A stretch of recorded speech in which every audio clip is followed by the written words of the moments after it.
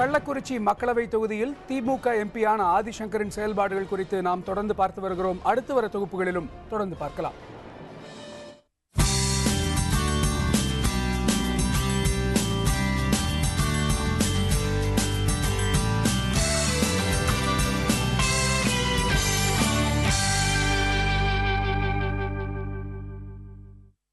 கள்ளக்குறிச்சி மக்களவை தொகுதி எம்பி ஆதிசங்கர் தமது தொகுதிக்காக செய்தவற்றை பற்றி புதிய தலைமுறையிடம் பகிர்ந்து கொண்டிருக்கிறார். அவரோடு நமது செய்தியாளர் மோகன்ராஜ் நடத்திய கலந்துரையாடலை பார்க்கலாம்.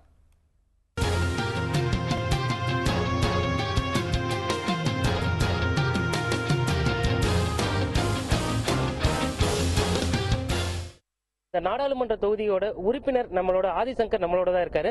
அவரோட தான் தற்போது நம்ம பயணிச்சிட்டு இருக்கோம். இந்த தொகுதியில அவரோட நடவடிக்கைகள் எந்த அளவுக்கு இருக்கு? தொகுதி மேம்பாட்டு நிதியின் கீழ் என்னென்ன பணிகள் மேற்கொள்ளப்பட்டிருக்கு? அப்படிங்கறத அவர்கிட்ட கேட்போம்.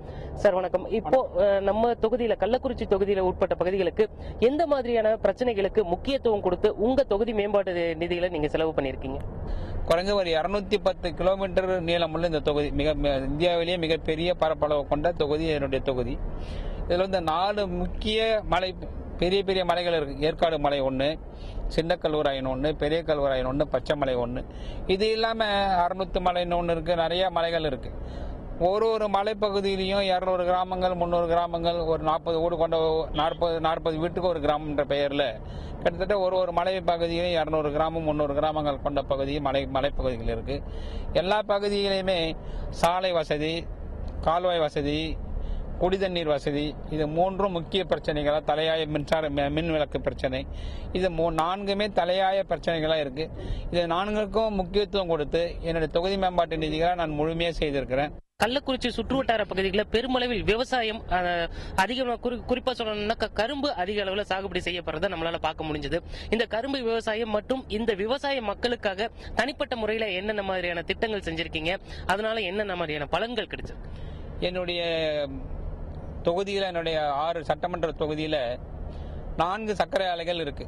மெட்ராஸ் சுகர்ஸினுடைய உரிமையாளர்களை நான் தனிப்பட்ட முறையில் அணுகி திருக்கோளூர் பகுதிக்கு நீங்கள் ஒரு சர்க்கரை ஆலை கண்டிப்பாக கொண்டு வர வேண்டும் என்று அவர்களை வற்புறுத்தி எங்கள் பகுதிக்கு அவருடைய என்னுடைய தனிப்பட்ட வேண்டுகோளை அவர்களிடத்தை வைத்து அவர்களுக்கு நான் தேவையான உதவிகளை எல்லாம் செய்கிறேன் என்று வாக்குறுதி கொடுத்து அதற்கு பிறகு மெட்ராஸ் சுகர்ஸ் என்ற பெயரில் மிகப்பெரிய ஒரு சர்க்கரை ஆலையை அவர்கள் திருக்கோளூர் பகுதியில் உருவாக்கி இருக்கிறார்கள் இப்போ இந்த பகுதியில பாத்தீங்கன்னா கள்ளக்குறிச்சி தொகுதிக்கு உட்பட்ட பகுதிகளில் கிராமங்கள் அதிகமா இருக்கிறதுனால கல்வி ச- சதவீத அடிப்படையில மிகவும் பின்தங்கிய ஒரு நிலை தான் இருக்கு. கல்வி மேம்பாட்டுக்காக என்ன மாதிரியான திட்டங்கள் ஏதாவது செஞ்சிருக்கீங்களா நீங்க?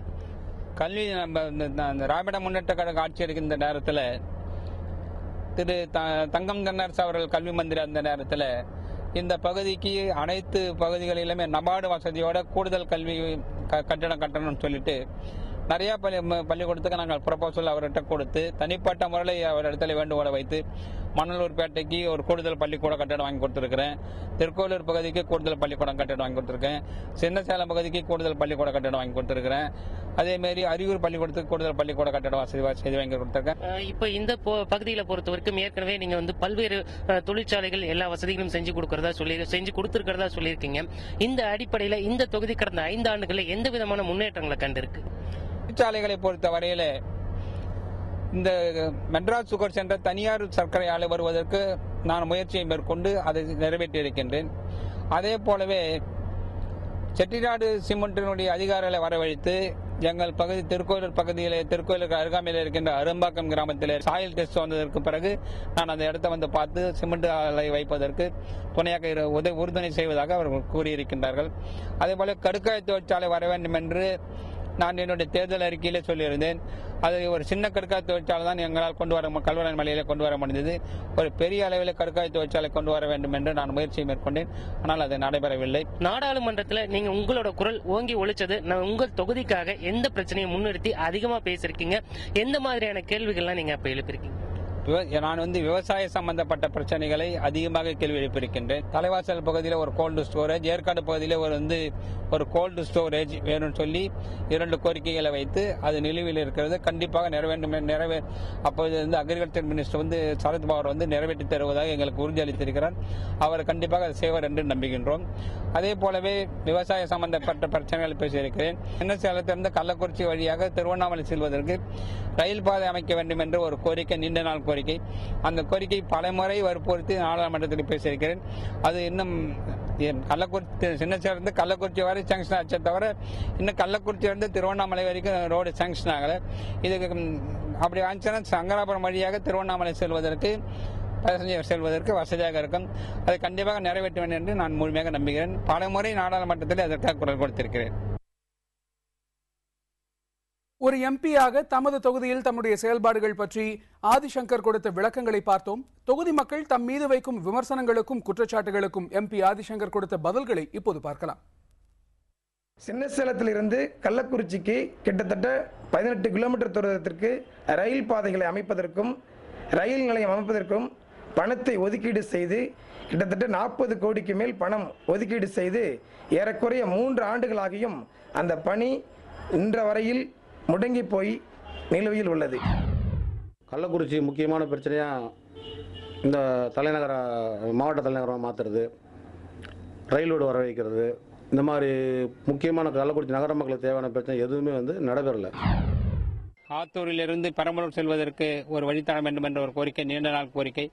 அந்த கோரிக்கை நிறைவேற்ற நிறைவேற்றப்படுகின்ற வகையிலே அந்த கோரிக்கை வைக்கப்பட்டு இப்பொழுது அதற்கு சர்வே செய்யப்பட்டிருக்கிறது. அதே போலவே சேலத்திலிருந்து சென்னைக்கு பகல் நேரத்தில் ஒரு ட்ரெயின் விட வேண்டும் என்ற ஒரு கோரிக்கை வை- நீண்ட நாள் கோரிக்கை. அந்த கோரிக்கை நிறைவேற்றப்படுகின்ற வகையில் இப்போ விழுப்புரம் வரைக்கும் விட்றேன்னு சொல்லிட்டாங்க. அதுக்கப்புறம் விழுப்புரத்திலிருந்து தாமரை வரைக்கும் கன்ஜஸ்டடாக இருக்கு. அதில் இப்போதைக்கு அது முடியாது அப்படின்னு சொல்லிட்டு சேலத்திலிருந்து விழுப்புரம் வரைக்கும் விடுவதாக கொள்கை அளவில் ஒப்புக்கொண்டிருக்கின்றார்கள். கள்ளக்குறிச்சி பாலாமட தொகுதியில் ஜெயித்தவர் ஆதிசங்கர் அவர்கள். இது வாக்குறுதிகள் தேர்தல் என்னன்னு கேட்டாக்க தார் சாலைகள் சிமெண்ட் ரோடுகள் என்னை ஜெயிக்க வச்சாக நான் சேர்ந்து சேர்ந்து செய்து தரேன்னு சொன்னார். ஆனால் இந்த ஐந்து ஆண்டுகள் பார்த்தாக்கா பார்த்தாக்க பேரூராட்சி பொதுமக்கள் சார்பாக என்ன பண்ணுறாக்கா ஐந்து லட்ச ரூபா தான் கொடுத்துருக்கார். ஆனால் இது இது வரைக்கும் ஐந்து லட்சம் கொடுத்து எதுக்காக கொடுத்தா ஆமாம் இது லைட்டு பஸ் ஸ்டாண்டுக்கு தான் கொடுத்துருக்காரு. மற்ற எதுவுமே கொடுக்கல. கிராமப்புற கலைகளை பொறுத்த வரைக்கும் எங்களுடைய பகுதியிலே அனைத்து கிராமப்புற சாலைகளும் இப்போது ஏற்கனவே இருந்த நிலையை விட இப்பொழுது நல்ல நிலையில் இருக்கின்றது. அவர்களுக்கு நான் எல்லா வகையிலும் உதவியாக இருந்திருக்கிறேன். சிமெண்ட் எல்லா கிராமங்களிலுமே சிமெண்ட் சாலைகள் போடப்பட்டிருக்கிறது. இது வரைக்கும் இருந்த எம்பி வந்துட்டு கள்ளக்குறிச்சி பக்கம் வந்ததில்லை. தொகுதி மக்களையும் சந்திச்சதில்லை. தொகுதி மக்களை பற்றி சிந்திச்சதும் இல்லை. அவர் எம்பியா இருந்து கள்ளக்குறிச்சிக்கு அப்படி ஒரு எம்பி தான் இருந்தாருன்றதே தெரியாம போயிருக்கு. தொகுதியிலே இருக்கிற ஒரே நாடாளுமன்ற உறுப்பினர் நான் ஒருத்தன் மற்ற இருக்கிற முப்பத்தொன்பது எம்பிங்க இல்லை ஒருத்தவங்க சென்னையில் இருப்பாங்க ஒருத்தவங்க டெல்லியில் இருப்பாங்க வேற எதனா வேலையில் இருப்பாங்க வேற எதனா பிஸ்னஸ் பண்ணின்னு இருப்பாங்க. இல்லை முழு நேரம் அரசியல்வாதியாக இருந்து முழு நேரம் தொகுதி மக்களுக்காக பாடுபடுகின்ற ஒரே எம்பி என்கின்ற பொறுமை எனக்கு உண்டு. தொகுதி மக்கள் எதிர்க்கட்சியினர் ஆகியோர் முன்வைக்கும் விமர்சனங்களுக்கு எம்பி ஆதிசங்கரின் விளக்கங்களை தொடர்ந்து பார்க்கலாம். ஆத்தூர் சட்டமன்ற தொகுதி அந்த பகுதியில் தான் இருக்கும். இந்த சட்டமன்ற தொகுதியை பொறுத்த வரைக்கும் பார்த்தோம்னாக்கா நீண்ட கால பிரச்சனையாக இங்கே நீடிச்சு வர்றது வந்து குடிநீர் பிரச்சனை. இந்த பகுதியோட தண்ணீர் பிரச்சனையை தீர்ப்பதற்காக கள்ளக்குறிச்சி நாடாளுமன்ற தொகுதி உறுப்பினர் ஆதிசங்கர் என்ன மாதிரியான பணிகளை மேற்கொண்டிருக்காரு அப்படிங்கிற அவர்கிட்ட கேட்போம். ஐம்பது லட்சம் ரூபாய் உடனடியாக இருபத்தி நான்கு வார்டுகளுக்கு வார்டுக்கு இரண்டு லட்சம் ரூபாய் வீதம் இருபத்தி நான்கு வார்டுகளுக்கு நிதி ஒதுக்கீடு செய்து ஒவ்வொரு பகுதிக்கும் குடிநீர் ஆழ்துளை கிணறு போட்டு மின் வசதி மின் வசதி அதற்கு பொருத்தி ஒரு ஒரு வார்டுக்கும் மினி மோட்டார் டேங்க் வைத்து குடிநீர் வசதியை போக்குவதற்கு ஏற்பாடு செய்திருக்கிறேன். அதே போல மொத்தம் மூணு இடத்துல பத்து லட்சம் ப- பத்து லட்சம் பத்து பத்தாயிரம் லிட்டர் அளவு கொள்ளளவு கொண்ட வாட்டர் டேங்க் மூன்று வாட்டர் டேங்க் அமைக்கப்பட்டிருக்கிறது. இது மாரி குடிநீர் சுத்திகரிப்பு இயந்திரம் இந்த இந்த வார்டுக்கு நாலு லட்சம் ரூபாய் மதிப்பீட்டில் அமைக்கப்பட்டு இந்த வார்டு பொதுமக்கள் உப்பு நீரை சுத்திகரிக்கப்பட்ட ஒரு குடிநீராக்கி அந்த குடிநீர் இந்த மக்கள் இந்த பகுதி மக்களுக்கு உபயோகிக்கின்ற வகையில் ஏற்பாடு செய்யப்பட்டிருக்கிறது. மஞ்சள் வியாபாரிகள் மஞ்சள் விவசாயிகளுக்கு வந்து ஒரு ஒழுங்குமுறை விற்பனை கூடம் அமைக்கணும் அப்படிங்கிறது ஒரு நீண்ட நாள் கோரிக்கையா இருந்திருக்கு. அந்த கோரிக்கை இது வரைக்கும் தீர்க்கப்படல அப்படிங்கிறதும் ரயில்வே நிலையம் அமைக்க அமைச்சு கொடுக்கல. இந்த பகுதியில் ரயில்வே இருப்பு பாதை இரண்டு வழி பாதை அமைச்சு கொடுக்கல அப்படிங்கிற பல்வேறு பிரச்சனைகள் வந்து இந்த பகுதி மக்கள் இந்த ஆறு சட்டமன்ற தொகுதிக்கு உட்பட்ட பகுதி மக்களோட பிரச்சனையா முன் வச்சிருக்காங்க. இதுக்கு ஏதாவது தீர்வு இருக்குங்களா? நான் நாடாளுமன்ற உறுப்பினராக தேர்ந்தெடுக்கப்பட்டதற்கு பிறகு பலமுறை நாடாளுமன்றத்திலே இந்த ஒழுங்குமுறை விற்பனை கூடங்கள் மற்றும் குளிர் சாதன வசதி கொண்ட ஒரு கோல்டு ஸ்டோரேஜ் போன்றவையெல்லாம் அமைக்க வேண்டும் என்று கோரிக்கை வைத்திருக்கின்றேன். ஏற்காடு பகுதியில் ஏற்காடு மலைப்பகுதியில் பழங்களை பழங்கள் அதிகமாக விளைகின்ற பகுதி ஆரஞ்சு பழங்கள் அதிகமாக விளைகின்ற பகுதி மாம்பழங்கள் அதிகமாக விளைகின்ற பகுதி. அந்த பகுதியிலே ஒரு கோல்டு ஸ்டோரேஜ் அமைத்து தர வேண்டும் என்ற கோரிக்கை வைத்திருக்கிறேன். அதே போலவே தலைவாசல் சந்தையிலே ஒரு கோல்டு ஸ்டோரேஜ் அமைக்க வேண்டும் என்ற ஒரு கோரிக்கை வைத்து அது நிலவிலே இருக்கின்றது. கண்டிப்பாக நிறைவேறும் என்று நம்புகிறேன். அதே போல ரயில்வே பொறுத்தவரையிலே பலவிதமான கோரிக்கைகள் இடத்தில் கொடுத்திருக்கின்றார்கள். குறிப்பாக ஆத்தூரிலிருந்து பெரம்பலூர் செல்வதற்கு ஒரு வழித்தர வேண்டும் என்ற ஒரு கோரிக்கை நீண்ட நாள் கோரிக்கை. அந்த கோரிக்கை நிறைவேற்ற நிறைவேற்றப்படுகின்ற வகையிலே அந்த கோரிக்கை வைக்கப்பட்டு இப்பொழுது அதற்கு சர்வே செய்யப்பட்டிருக்கிறது அதே போலவே சேலத்திலிருந்து சென்னைக்கு பகல் நேரத்தில் ஒரு ட்ரெயின் விட வேண்டும் என்ற ஒரு கோரிக்கை வை- நீண்ட நாள் கோரிக்கை. அந்த கோரிக்கை நிறைவேற்றப்படுகின்ற வகையில் இப்போ விழுப்புரம் வரைக்கும் உடனே சொல்லிட்டாங்க. அதுக்கப்புறம் விழுப்புரத்திலிருந்து தாமரை வரைக்கும் கன்ஜஸ்டடாக இருக்குது அதில் இப்போதைக்கு அது முடியாது அப்படின்னு சொல்லிட்டு சேலத்திலிருந்து விழுப்புரம் வரைக்கும் விடுவதாக கொள்கை அளவில் ஒப்புக்கொண்டிருக்கின்றார்கள். பல பகுதிகளில் எங்களோட நாடாளுமன்ற உறுப்பினர் வந்து நாங்கள் பார்த்தே ரொம்ப நாள் ஆச்சு. அவரை வந்து எளிதில் சந்திக்க முடியறதில்ல. அவர் எங்க பிரச்சனையை பெருமளவில் தீர்த்து வைக்கல அப்படிங்கிற ஒரு குற்றச்சாட்டு தான் இருக்கு. அதே போல மாற்றுக் கட்சியினர் உங்களோட செயல்பாடு குறித்து பிற கட்சியினர்கிட்ட கேட்ட போதும் அவங்க ஒரு அதிருப்தியான பதில் தான் சொல்லியிருக்காங்க. இதுக்கு என்ன பதில் உங்களுக்கு? அதாவது ஒரு ஒரு நாடாளுமன்ற உறுப்பினரும் என்னை பொறுத்தவரை என்னுடைய தொகுதி வந்து மிகப்பெரிய தொகுதி. ஒரு நிகழ்ச்சிக்கு ஆத்தூர் வரணும்னா அதுக்கப்புறம் அந்த அந்த ஒரு நாள் நிகழ்ச்சி வீணாக போயிடும். ஏற்காடு ஒரு நிகழ்ச்சிக்கு போனோம்னா அன்னைக்கு ஒரு நாள் வீணாக போயிடும். இப்படி ஒரு நிகழ்ச்சிக்குத்தான் ஒரு நாளைக்கு செல்ல முடிகின்ற ஒரு மிகப்பெரிய தொகுதி. குறிப்பாக எம்பியை பொறுத்த வரைக்கும் வருஷத்தில் முந்நூற்றி அறுபத்தஞ்சு நாளில் நூற்றி இருபது நாள் நாடாளுமன்றம் நடக்குதுங்க. நூற்றி இருபது நாள் அப்புறம் கமிட்டி மீட்டிங் ஒரு முப்பது நாள் நடக்கும். முப்பது நாற்பது நாள். ஆக நூற்றி ஐம்பது நூற்றி அறுபது நாள் இதுலேயே போயிடுது. அதாவது நூற்றி அறுபது நாள் நாங்கள் டெல்லியிலே இருக்க வேண்டிய சூழ்நிலை.